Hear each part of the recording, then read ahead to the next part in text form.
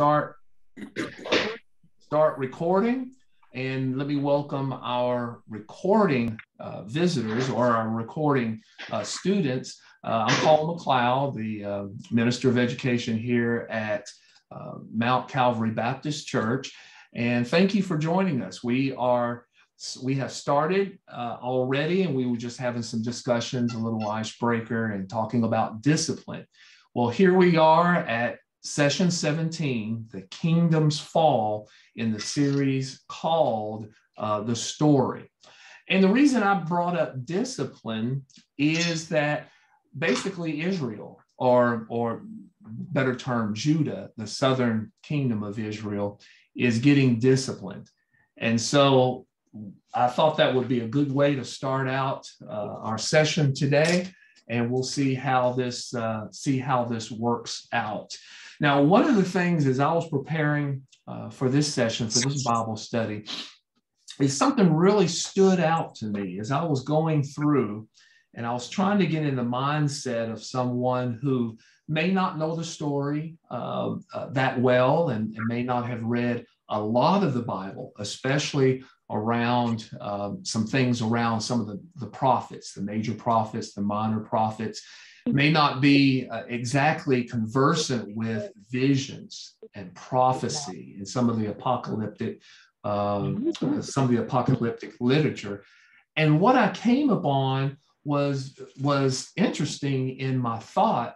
On page 235 of the story uh, the, the figure book uh, something jumped out at me uh, as i was getting to this uh, into this mindset. And it hit me that uh, I think it's in the second full paragraph. I started reading it with fresh eyes, and I said, "What is? What in the world is this?" I mean, this is some some strange language. This is some some strange stuff, and we're being exposed to something uh, quite different.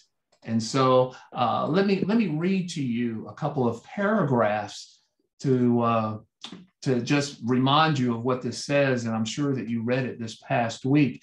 But on page 235, it reads I looked and I saw a windstorm coming out of the north, an immense cloud with flashing uh, lightning and surrounded by brilliant light. The center of the fire looked like glowing metal, and in the fire was what looked like four living creatures. In appearance, their form was human, but each of them had four faces and four wings. Wow, what in the world are we looking at? And it goes on to say, spread out above the heads of the living creatures was what looked something like a vault, sparkling like crystal and awesome.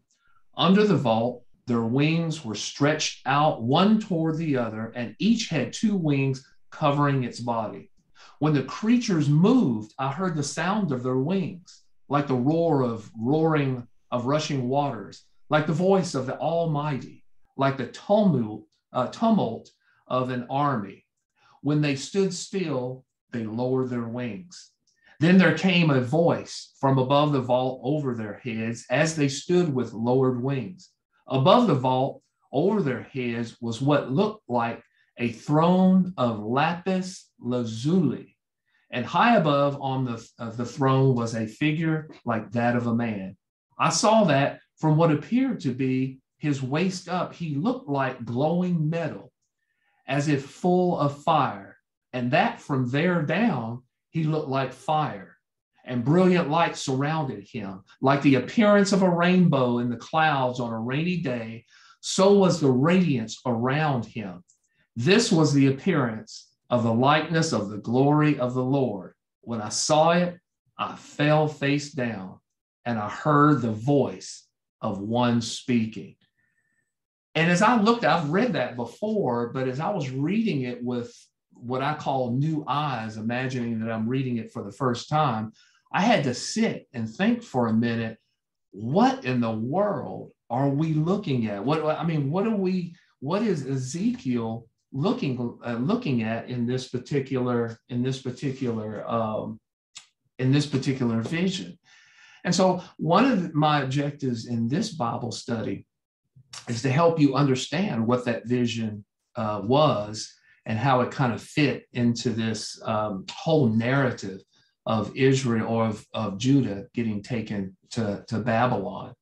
The second thing that, that I want to focus on in this Bible study session is to understand that God does not abandon his people in the upper story.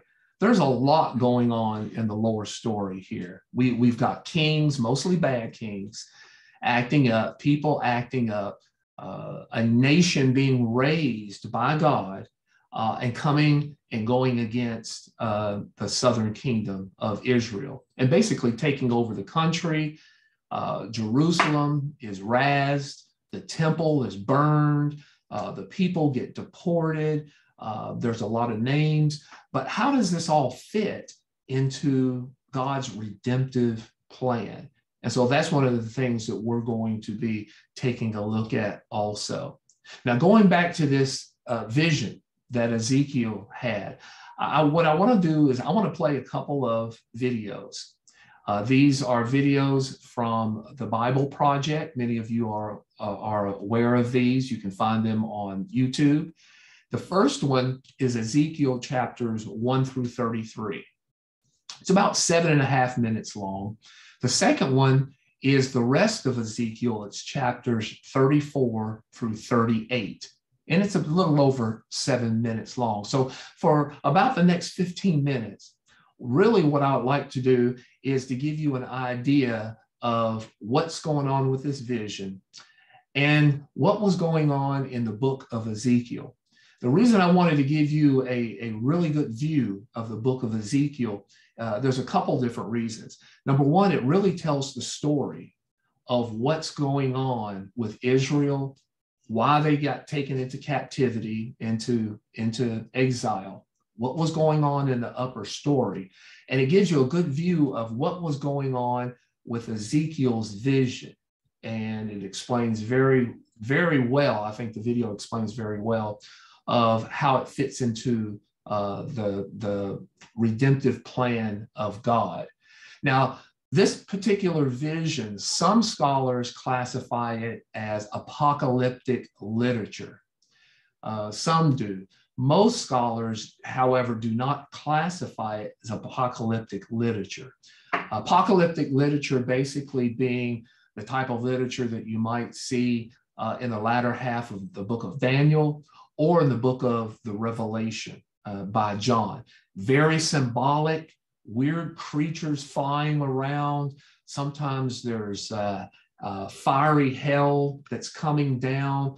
Uh, people with uh, or creatures with uh, several faces and wings with eyes on it. A lot of symbolism. Um, this particular vision, I think, is is is kind of like apocalyptic literature. Uh, however, most scholars don't think uh, think it's so. But we'll get into when we start getting into Daniel uh, next week. Then I'll talk more about apocalyptic literature. But for right now, just focus on Ezekiel's vision and how does it uh, give us or how does it highlight God's redemptive plan and what it really means. So bear with me for a minute. I am going to uh, share my screen and you may you may have to adjust your volume on your device depending on uh, your device. So here we go. The book of the prophet Ezekiel Ezekiel was a priest who had been living in Jerusalem during the first Babylonian attack on the city. And they spared the city, but they took a first wave of Israelite prisoners and hauled them off into exile, and Ezekiel was among them. So the book begins five years after all that, and Ezekiel is sitting on the bank of an irrigation canal near his Israelite refugee camp, and it's his 30th birthday, no less, the year that he would have been installed as a priest in Jerusalem. And then all of a sudden, Ezekiel has this vision. He sees a storm cloud approaching, and then inside the cloud are four strange creatures that have wings outstretched and touching each other. And these creatures each had four faces. And then he saw four wheels, one by each creature. And then he saw that the wings of the creatures were supporting this dazzling platform. And then on that platform is a throne. And then sitting on that throne is this human like creature, glowing and shrouded in fire. And then all of a sudden, Ezekiel realizes what he's seeing. He calls it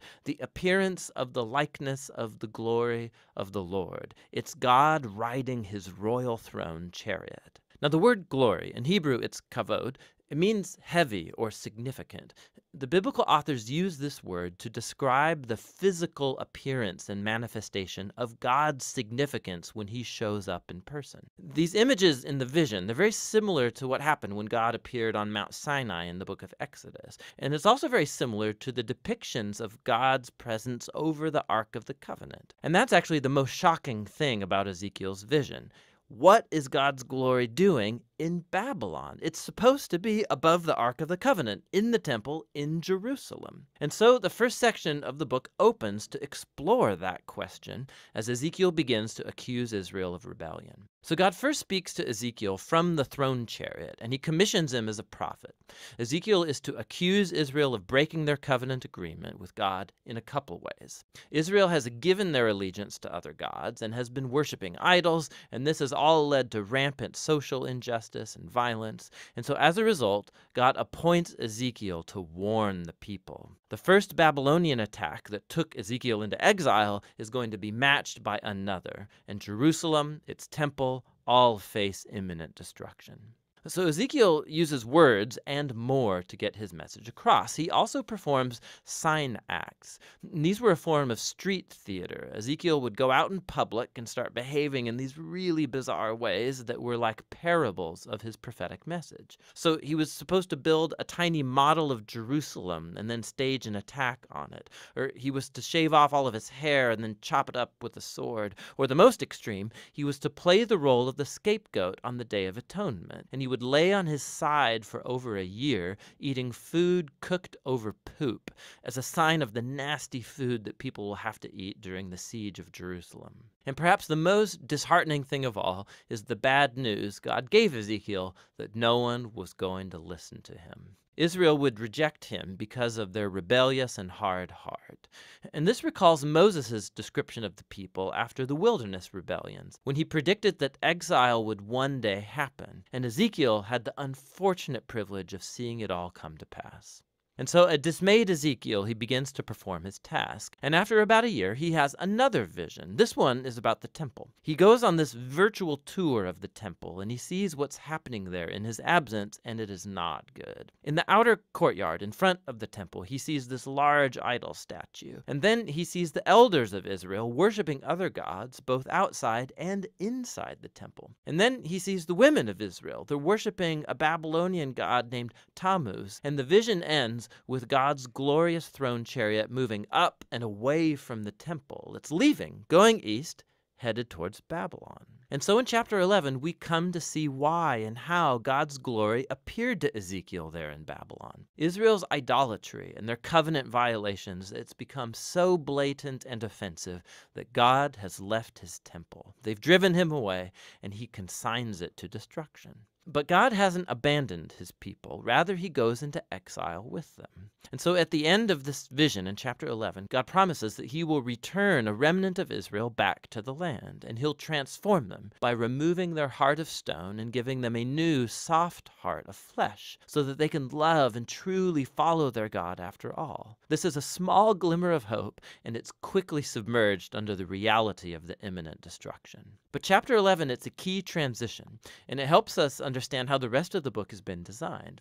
So the next three sections are all announcements of God's judgment first on Israel, then on the nations around Israel, and then on Jerusalem itself. But then after that, the hopeful conclusion of chapter 11 gets developed in the final three sections of the book. First, hope for Israel, then for the nations, and then for all creation. Chapters 12 through 24 focus on God's judgment coming to Israel. And this is a diverse collection of poems and essays. And here Ezekiel shows his fondness for parable and allegory. So he depicts Israel as a burnt, useless stick, or as a rebellious wife, or as a dangerous raging lion that gets captured, or as two promiscuous sisters. These are all depictions of Israel's senseless rebellion and idolatry that results in their ruin.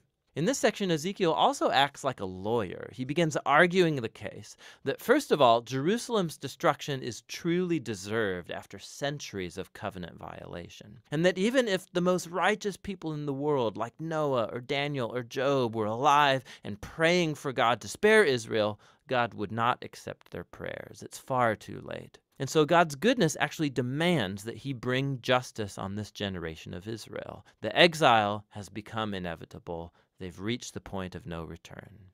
Following this, Ezekiel focuses first on the nations immediately around Israel, and then on the two most powerful states in the region, Egypt and then Tyre. Israel has allied with these nations and adopted their gods and their idols, and so God accuses the kings of Tyre and Egypt for arrogantly viewing themselves as gods who get to define right and wrong on their own terms. And God holds these kings accountable for their pride, and he announces that he will use Babylon to bring them down. They will face God's justice along with everybody else.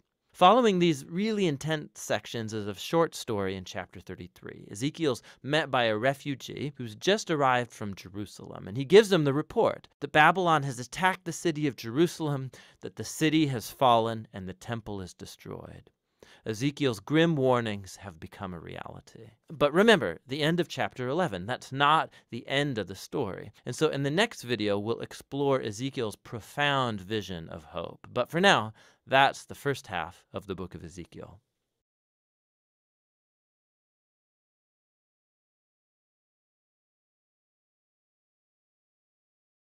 The book of the prophet Ezekiel. In the first video, we were introduced to Ezekiel the priest, and he's sitting among the exiles in Babylon. And he's confronted by the awesome glory of God's temple presence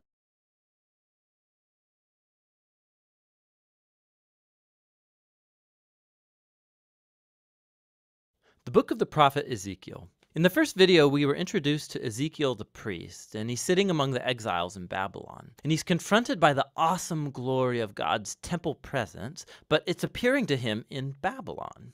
And then Ezekiel discovers why. It's because of Israel's idolatry and injustice that has compelled God to abandon his own temple. And while there is still hope for the future, the book went on to develop Ezekiel's message of divine judgment, first for Israel and then for the nations around Israel. And then a key moment happened in chapter 33. Ezekiel receives a report that the Babylonian siege of Jerusalem is over because the city has fallen. The temple is destroyed. Ezekiel's grim words of warning came true. The exile was the most horrendous catastrophe that ever happened to Israel, and it raised the big questions of whether God was done with Israel for good. But remember, at the end of chapter 11, God promised that there was still a future beyond exile for Israel. And so the rest of the book is designed to explore Ezekiel's vision of hope, first for Israel, then for the nations, and then for all of creation. The hope for Israel begins with God promising to raise up a new David, a future messianic king, who's going to be the kind of leader that Israel needed but never got. And this new Israel, who's going to come under the messianic king's rule, is going to be a transformed people. God's going to deal with the heart of their problem of rebellion by giving them new hearts. It's just like Moses promised at the end of the book of Deuteronomy. God says he's going to remove their hard hearts and send his spirit into his people to give them new, soft hearts that can love and obey their God. And this idea gets developed in the next strange vision. Ezekiel sees a huge valley filled up with dry human bones and skeletons, and God tells him that it's an image, a metaphor for Israel's spirit spiritual state. So their rebellion against God, it resulted in exile and the literal death of many people, but it was also a metaphorical death of their covenant relationship. And God tells Ezekiel that his spirit is coming to bring his people back to life. And so this wind comes and it causes all of the bones to stand up and it fills them with breath and life. And then skin grows over the bones. And then all of a sudden, Ezekiel sees all of these new humans standing in front of him. Now, this vision, it's recalling the story about the creation of humans in Genesis chapter 2, where God made humans out of dirt and divine breath. And so Israel and all humanity have rebelled, resulting in death. And so the only hope is that God would perform a new act of creation and remake humans in such a way that they can truly live in a relationship of love with God and with each other. And so, after God is going to deal with the evil that's in the hearts of his own people, some questions still remain unresolved. Like, what about the evil that's still rampant out there among the nations? And what about the future of God's dwelling place in the temple? And this is what the final two sections of the book are about. So, first come chapters 38 and 39, and they promise God's final defeat of evil among the nations, which gets personified by a ruler who's named Gog from the land of Magog. Now, this name is derived from a genealogy of ancient kingdoms and lands from Genesis chapter 10, and it referred to powerful nations from the distant past. And so Ezekiel picks up this ancient biblical name as an image of any and all violent kingdoms. And so we find that Gog gets allied with seven nations that come from all four directions of the compass, is clearly an image that represents all of the nations. And this also helps us understand why Ezekiel describes Gog with images that he used earlier in the book to describe the king of Tyre and the king of Egypt, Pharaoh. For Ezekiel, Gog is an amalgam of all of the worst, most violent people in the Bible. Gog is the archetype of human rebellion against God.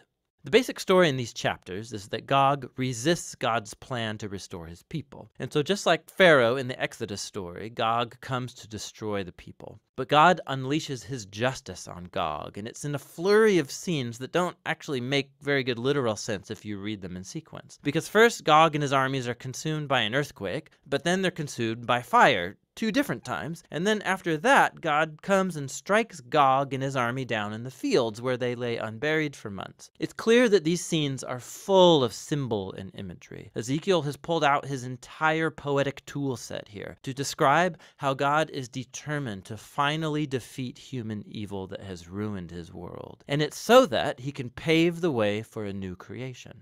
And so once evil is finally dealt with among the nations, the last section of the book describes how God's presence is going to one day return to his people and his temple to bring cosmic restoration.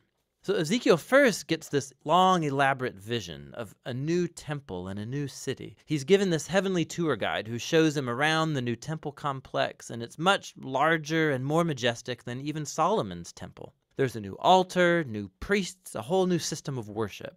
And then after this elaborate tour, God's glorious throne chariot that he saw back in his first vision comes back and it enters the new temple. Now, the meaning of these temple visions has been the source of debate for a long, long time. So, some Christian and Jewish readers believe that this vision will be fulfilled literally one day, and that these chapters offer the actual blueprints of the new temple that will be built when the Messiah returns and brings God's kingdom. But many other Jewish and Christian readers think that this vision, like all of Ezekiel's other visions, is full of symbols, and they depict the reality of God's presence returning to his people in the Messianic kingdom, but not necessarily in the form of an actual building. Whichever view you take, it's important that Ezekiel never calls the city Jerusalem, and chapters 47 and 48 show why. Ezekiel sees this tiny stream pouring out of the temple threshold and steps.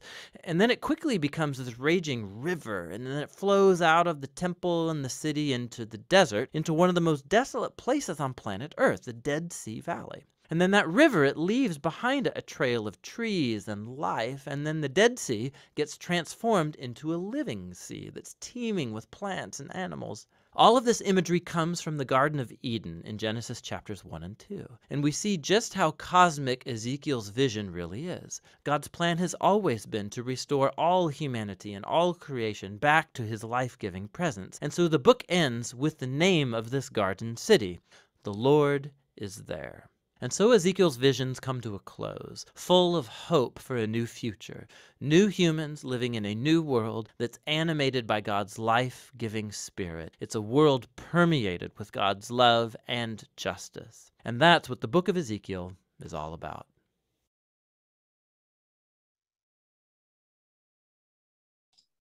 All right. Well, that is an overview in uh, contained within two videos of all the of all of Ezekiel, a good uh, overview.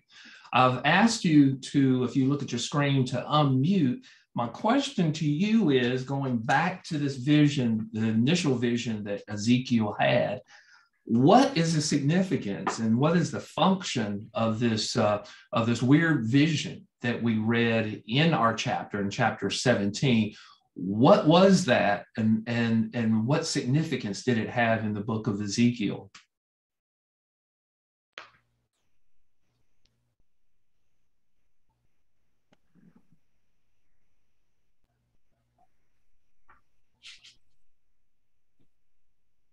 I know, but I guess if it's the accusations against Israel at this time, or not Israel, uh, Judah, uh, about the breaking of the covenant. Right, that's part of uh, yes, that's part of the book of Ezekiel. Yeah, the accusations, definitely, definitely. What was uh, what was that? Uh, that weird vision that Ezekiel had. What was what was that? What did that symbolize? I thought it symbolized the Ark of the Covenant and God. So Okay, the Ark of the Covenant and God. I saw some similarities there uh, with uh, some of the radiance, some of the glory, and um, but I think you I think you hit it near the end of your statement, Faye, in saying it was God. Um, near the end of the vision in the scripture, it right. says, it says, this was the appearance of the likeness of the glory of the Lord. And when he saw it, he fell face down, and I heard the voice of one speaking. So, based on that description, I would say that was basically the appearance of the Lord. I mean, there was glory, there was worship. I mean, there was only one person, one entity, let me say that, that accepts worship uh, like that, and that is and that is God. And so all that glory, so that was really the presence of the Lord symbolized in that in that vision. Did you catch uh, the surprise that we should have had that that vision, the presence of God, was there in Babylon? What in the world was God doing in Babylon? Why, why was God in Babylon? God was their attention in Babylon. I'm sorry, say that again. He was trying to get their attention in Babylon. But that's where most of the, the captives went to Babylon, and that's where his people were at the time. And in order to get his message to them, he had to go to them and he tried to dissuade them from uh, worshiping foreign idols and falling into the ways of the Babylonians. Okay. And Carrie, you were about to say? Oh, that's he said the same thing. Okay. Mm-hmm. I said that was a wonderful birthday surprise he got. you picked up on that. It actually was his birthday when he was sitting by the river yeah. and had the and had the vision. That was good that you you picked up on that. Right. Mm-hmm. Yeah, that was actually his presence in Babylon. Now you have to remember that Babylon was considered a very evil place at that mm-hmm. time. I mean, as, as bad as Israel was, I mean, they, they bowed down to gods. I mean, near the end there, they were actually sacrificing their children to Moloch. Uh, they were doing worse things, if you read carefully, uh, it says that Israel was doing, I'm sorry, Judah was doing worse things than the heathen nations around them. So they got really good at it. And, mm-hmm. and they were doing worse things. But Babylon was the center, was the symbolical center of pagan idolatry during that time. And there God's presence was. More surprising was uh, did you catch the fact that God's presence left? Yeah, yeah. Mm-hmm. Sure did. Notice that. Mm-hmm. Yep. He's like, he's like, hey, I'm out of here. Mm-hmm.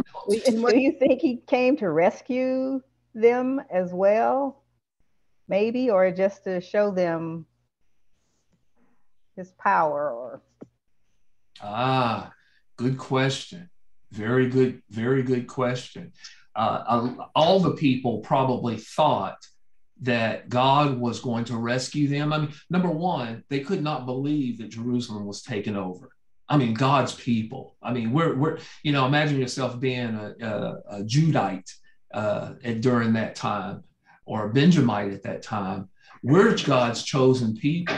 We can just, and they basically had the idea that, hey, we can basically do whatever we want. God is on our side. The problem was they weren't on God's side. And, right. and and and that was the that was the problem. Uh, so they were very surprised that Jerusalem was taken over, that the temple was burned, that they were taken to Babylon, and I could imagine a lot of people thinking, "Well, gosh, Ezekiel had this great vision, and we've got God's presence." And uh, things are going to turn around, and we're going to be rescued in no time at all.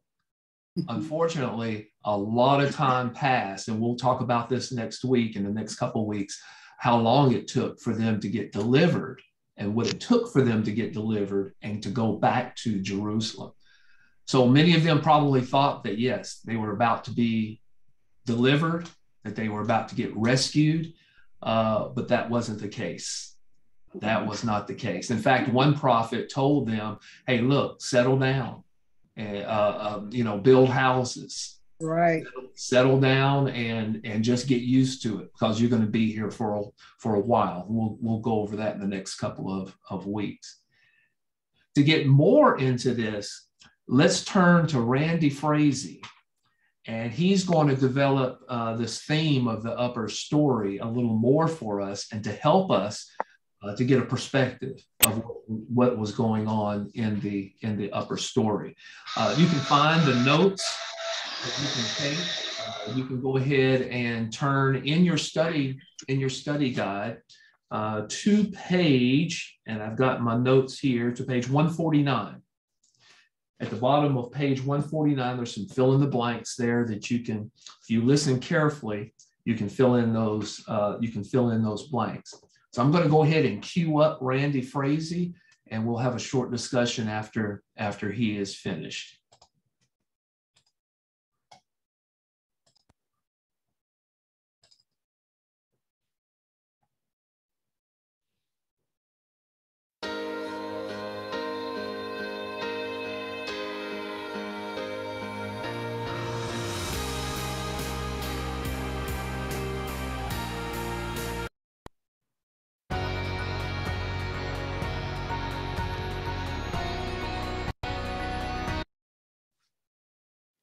This is your story, this is my story. But most of all, this is the greatest story ever told. This is God's story.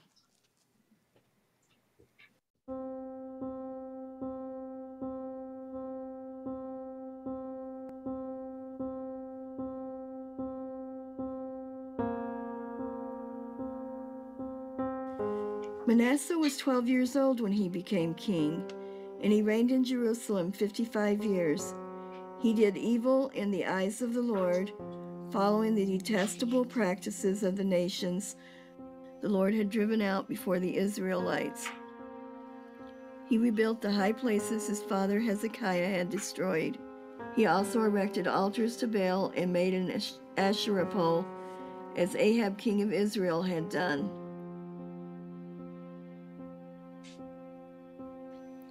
He bowed down to all the starry hosts and worshiped them. He built altars in the temple of the Lord, of which the Lord had said, In Jerusalem I will put my name. The two courts of the temple of the Lord he built altars to all the starry hosts. He sacrificed his own son in the fire, practiced divination, sought omens, and consulted mediums and spirits. He did much evil in the eyes of the Lord, arousing his anger.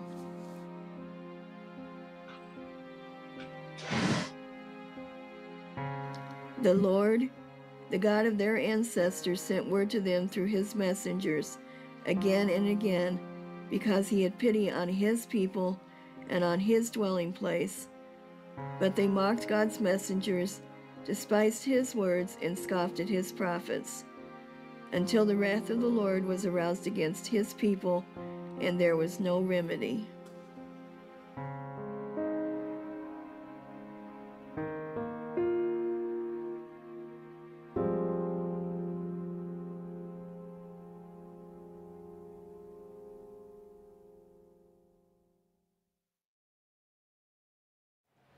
Those may be some of the most difficult words to hear. There is no remedy. You have battled with cancer, and the doctor is finally obligated to say those words to you. There is no remedy. You're going to die. You have battled through a difficult marriage, and finally your spouse says to you, There is no remedy. It's time for a divorce. You have struggled to make your business work, but finally the bank says those painful words, There is no remedy. It's time to shut it down. This is where God is at with Israel, and he is finally forced to say it. There is no remedy. Now, how did Israel get here? Well, we have learned through our journey in the story that God established the nation of Israel from scratch as his plan to reveal himself and to provide a way to get all people back. To do this, he gave Israel the law, which instructs Israel on how life with God works, how to love God and how to love each other. People would see how life in community with God works and be drawn to God as the one true God who loves them as well. But Israel didn't keep up to their end of the bargain. For hundreds of years, God patiently waited and warned them. He gave them second chances and even third chances, but they would not listen. God would be justified in scrapping the whole plan and starting over with a new group of people.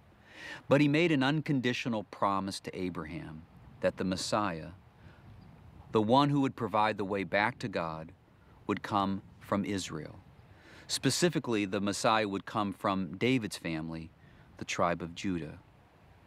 So we have seen over the last few chapters that God whittles Israel down to a small remnant, the once big, unstoppable, unified nation of Israel is divided in two, north and south. The northern kingdom of Israel, made up of 10 of the 12 tribes of Israel, is captured by a pagan nation called the Assyrians and deported and assimilated into their pagan culture in 722 BC. Only the southern kingdom of Judah remains. While Judah did have five good kings over a 350 year period, they were as evil as the northern kings. Now, here's a good example at the opening of chapter 17. Manasseh was 12 years old when he became king, and he reigned in Jerusalem 55 years. Now, I really believe in giving young people opportunities to lead, but I think becoming a king when you're in junior high may be a bit much. I think there should be a rule that you can't become king until you're done with acne. It certainly proves to be the case for Manasseh. He didn't just do evil in the eyes of the Lord. The story tells us he did much evil, shed so much innocent blood, did more evil than the Amorites. The Amorites, these are the people who were so evil that God stripped the land of Canaan from them and gave it to the Israelites. God would be totally just in starting over if it weren't for the promise. But it wasn't just Manasseh. Of the remaining six kings in Judah, only one, Josiah, is good. But he challenges my theory. He was only eight years old when he took the throne. Like in the northern kingdom, God raised up prophets to give the kings and the people his messages. It was time for Judah to hear God's plan in light of their persistent evil. The Lord, the God of their ancestors, sent word to them through his messengers again and again, because he had pity on his people and on his dwelling place. But they mocked God's messengers, despised his words, and scoffed at his prophets, until the wrath of the Lord was aroused against his people, and there was no remedy. If God continues to bless Judah while they're living so inconsistent with God's word and life, it will send a confusing message about who God is and how life in community with God works. God must discipline them. he does so with a distinct purpose in mind. The prophet Ezekiel gives Judah this message Then the nations will know that I am the Lord, declares the sovereign Lord, when I am proved holy through you before their eyes. What does God do? He raises up another pagan nation, the Babylonians, who will do to Judah what Assyria did to Israel. Over a period of 20 years, they will capture them, burn down the city, destroy the beautiful temple that Solomon built, and deport the people to Babylon. This begins in 605 BC and is complete in 586 BC. You know, these last couple of chapters haven't exactly been the kind of pick you up messages you need to inspire you, have they? But they are true. And we need to give you the whole Word of God, not just the nice parts. Remember this grace isn't all that fantastic if you don't know you need it. And boy, do we need it. But there is a, a, bright spot, something inspirational in this message that I think we can all take with us into the world to encourage us. It has to do with the prophet Jeremiah. Listen to his story. The word of the Lord came to me, saying, Before I formed you in the womb, I knew you. Before you were born, I set you apart. I appointed you as a prophet to the nations. God tells Jeremiah that before he was even born, he had an idea of what part Jeremiah would play in the unfolding of God's upper story. That's awesome. But the same is true for us today. Ephesians chapter 2 and verse 10 of the New Testament reads, For we are God's workmanship, created in Christ Jesus to do good works, which God prepared in advance for us to do. God is saying the same thing to everyone hearing these words who professes Jesus the Messiah, their Savior. This is not just for Jeremiah, but for everyone who belongs to Christ. He already has things in mind for you if you will align your life to the upper story of God. Now that's overwhelming. Jeremiah felt the same way. He said, I, I don't know how to speak. I'm too young. You and I feel the same way, don't we? I'm too young. I'm too old. I'm not smart enough. Can't talk in front of people. Not dis- disciplined enough to be counted on. And we go on and on. The story tells us that God reaches down and touches Jeremiah's mouth and tells him that he will be with him every step of the way. The same is true for New Testament believers. Ephesians chapter 4 tells us that when Jesus returned to the Father, the Holy Spirit came down and touched us, gifted us, equipped us with everything we need to accomplish the assignment God has for us. What was Jeremiah's assignment? He was assigned the task of the weeping prophet. God told him that he would give out God's message, but the people would not listen. He's essentially telling him that he's going to fail in the world's eyes.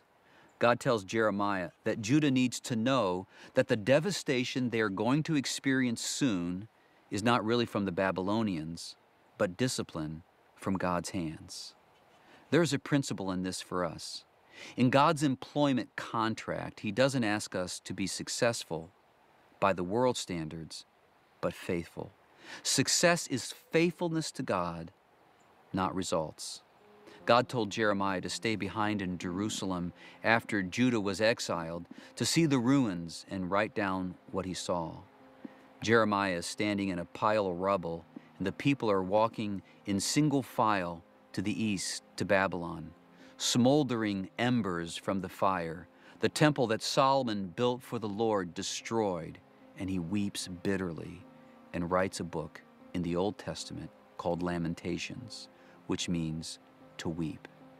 But there's a bright spot.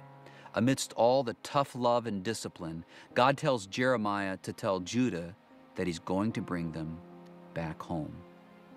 Maybe you've heard these words before and didn't know it came from the lips of Jeremiah to the now exiled nation of Judah. Yet this I call to mind, and therefore have hope. Because of the Lord's great love, we are not consumed, for his compassions never fail. They are new every morning. Great is thy faithfulness. With God's people, there is never a strong, truthful bout of loving discipline without God's grace following right behind it. It was true for Judah, it's true for us.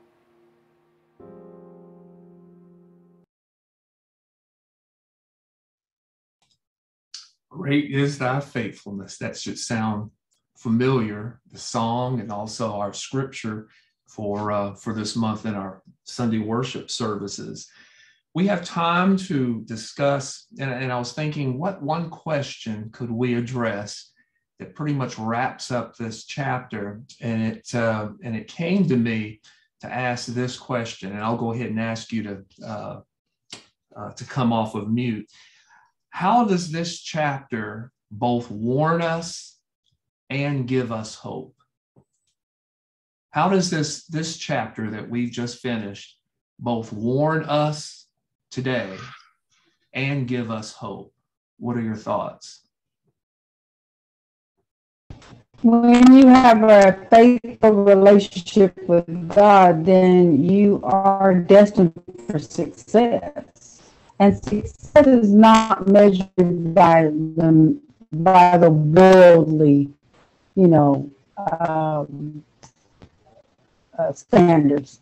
You know, success with faithfulness with God means He will always be there, and never leave you or forsake you.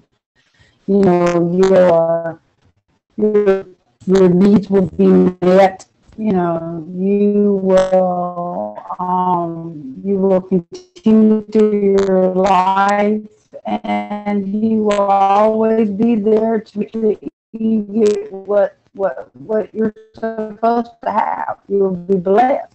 If you don't have God in your life, if you have, if you're not, if you don't, if you forsake Him, then you are destined to have an ex- exiled um, life, which leads to destruction.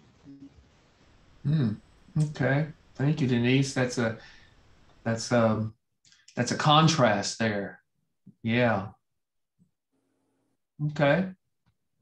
I saw a couple other people uh, wanting to say something.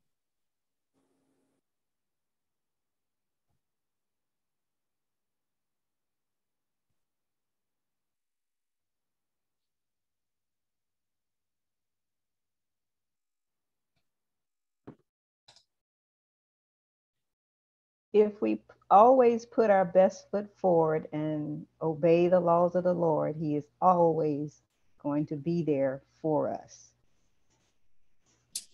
He did not have any. Okay. We, we may be disciplined, but discipline is a part of growth. And so. Mm-hmm. Yeah. I think Randy Frazee put it, and I, and I, wrote this down here. He put it in the in terms of align yourself to the upper story. Mm-hmm. I kind of like that that phrase of of alignment. I like the so the one he said. Success is faithfulness to God. Mm-hmm. I like that because if you be faithful to Him, you will be successful you may not be a perfect person and that's what he doesn't look at you know we think that we have to be perfect but he just perfect. wants you to be faithful to him faithful exactly isn't, isn't that a change of perspective? Go ahead go ahead carrie. Oh I, that's all right. I'm just going to say and we can see in the story all along the whole way that no matter what they did he those were his chosen people. He never gave up. He stood, but you know, even he left one temple and went to another one just to follow, and you know, to be with us or with the people that his people that he had chosen. So that let us know that no matter how we struggle, and sometimes we think that we're struggling, doing what we're supposed to do, but that lets us know that you know, long as we, it's not about what we do here, it's what we do for God, what He wants us to do. Exactly. Oh, you ever see the signs they have on these buildings when they restored them? It says, uh, uh, uh, please excuse this mess. We're under uh, construction. Mm-hmm. Well, that that's kind of what they were involved in. It was going to be messy. It was going to be shaky, but when God got through with it, it's going to be all right. Use this mess under Yeah. construction. Uh, I like that. I like Some that. of us, some of us are a little messier than others, but yeah, yeah, Mhm. that's pretty. That's pretty good. Yeah, I, I think I like the. Uh, yeah, it, if if I had to, those bullets at the uh, at the bottom of page one forty nine. If I had to pick one of those that really stood out, uh, I'd have to say that last one that. Uh, that uh, some I think uh, Carrie, I think that you brought out that success is faithfulness to God, not results, and it reminds me of some advice or something that Reverend Franklin said when I when I got here a little over six years ago. I'm sure he wouldn't mind me sharing this story, but uh, we were talking about ministry, we were talking about um, different things, and and um, somewhere in the conversation he said, God did not call us to be a success. What he did was he called us to be faithful. And at that time, I kind of knew that, uh, but I didn't know it. And I'm kind of task oriented, I'm kind of process oriented. Um, uh, you know, I like things to be organized and I like to get results and all that great stuff. and and part of me wanted to argue him down. part of me wanted to say, no, no, no, we got to, you know, uh, we need to be successful and get results, and you know, and uh, and be driven and all this other kind of stuff. But I had enough wisdom to to be quick to listen and slow to speak. Mm-hmm. and as I meditated on that, and I actually did some studying in, in the word on it, it, it, it hit me and, and I was all in on it. I kind of knew it, but it didn't really hit me until that conversation with Reverend Franklin. So I, I, I think I think that bullet point is is is really is really great. Well, wasn't it wasn't it Jeremiah that he told him uh, he sent him and he had a message to give, but he told him that nobody was going to listen to him anyway. They were going to listen. I mean, can you imagine if he told you that? And you be thinking, well, I'm not even going to go out there and bother with it. I might have turned and ran like Jonah did. but it was, you know, that wasn't the point it- to get the results. Right. Mhm. Yeah, there there are a lot of people in ministry, and um, we all are in ministry. By the way, uh, you don't have to be full time at a church.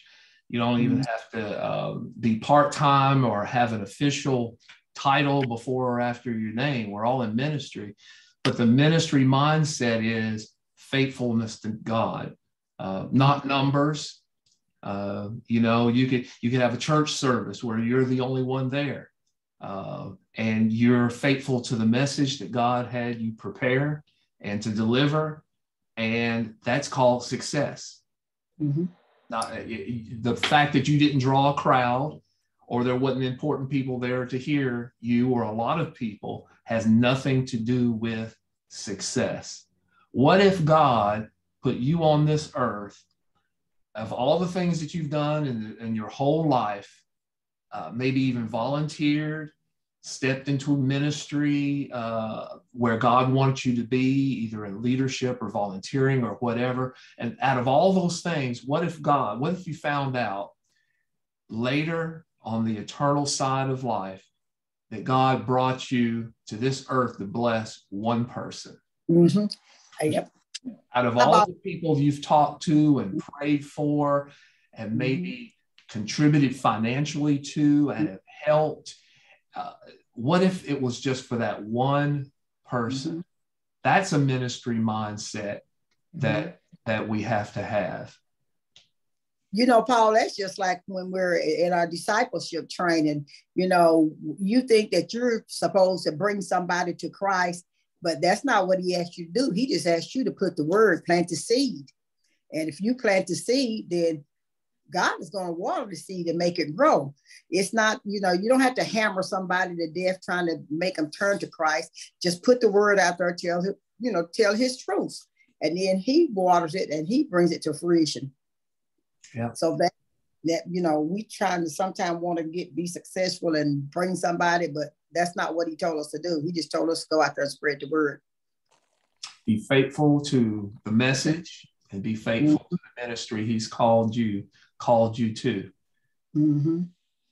And I've always felt like you too, that a lot of times we as Christians think, sometimes you're thinking that when you read it, that's going to be something grand that he's going to tell you to do. And I was I always thought like you that it might just be one person that uh, come in. I had a lady one time to tell me uh, when I first started doing her, and I was uh, this uh, lady came in. She's an older white lady. She came in, and you know she's like one of them country women. She had her daughter with her, and I, you know, just tried to talk like I always do, make people feel comfortable, and just talk to her. And she was kind of down, kind of feeling down, and I just talked to her. And about a week or so later, the lady called me back at the shop and she told me who she was. And she said, I just want to thank you. She said, because my daughter was very depressed when she came in there. She said, and when she left out of there, you made her feel so good. She said, and I want to thank you. She said, because the next week she took her life. But she said that day she felt really good. And she said, I want to just thank you for that. Wow. Mhm. Yeah. The impact that we make on other people's lives, sometimes we see it, sometimes we don't. Mhm. So we really see, and just to start wrapping this up, what we really see is in the fall of the southern kingdom, God's people, Judah and the small uh, tribe of Benjamin, we see both a warning and we, we see hope. And, and I hope you see that there are two sides to this that God is a just judge. There is wrath that has built up and must be poured out onto his people for, for God to be the just judge and for him to be holy. But there's it's always with hope of the restoration. And, and we get a glimpse of that restoration in the book of Ezekiel with the new creation. And that's what we're looking forward to. And that's what we're building the kingdom of God and bringing other people uh, to experience that new kingdom. So, yes, with the wrath, with the warning, there is hope. And that hope is in the restoration in our relationship uh, with God. In the Old Testament, it was through the law and through being the chosen people of Israel. In the New Testament, in this new covenant time, is through grace and through the finished work of Jesus Christ that we have that restoration, that we have that, that we have that hope. And so the Old Testament reflects that covenant that we that we now have in that yes, God is still uh, judging, He's still pouring out wrath, He's still disciplining, but it's always in restoration and that hope of restoration that we would repent and that we would humble ourselves before Him and align ourselves with that upper with that upper story. So we're seeing the two sides of it and we'll continue to see that throughout the rest of the of the story. For next week, let's take a look at Daniel in exile. And so you'll be looking at pages 152 to 156 in your study guide, 152 to 156. Now that they're in the exile, we're going to have a couple of weeks to look at what did life look like in the exile. Okay, they're there, they've cried. Uh, some of them don't have any tears left. Uh, they're starting to settle down in Babylon. How does that life look like? And the big question in their mind was how do you worship God in a pagan city, in a corrupt, vile, uh, pagan city like Babylon? How do you worship the true God? How do we how do we do this? Is he even with us? Is he still for us? Is he still gonna um, uh, you know bless us? And and are we still children of promise? And is he forgotten about us? So all those questions that they're going through for the next couple of weeks, we're going to take a look at life in exile. So I'm excited to take a take a look at it. Any last minute questions or or comments uh, before I say goodbye to our recording uh, students?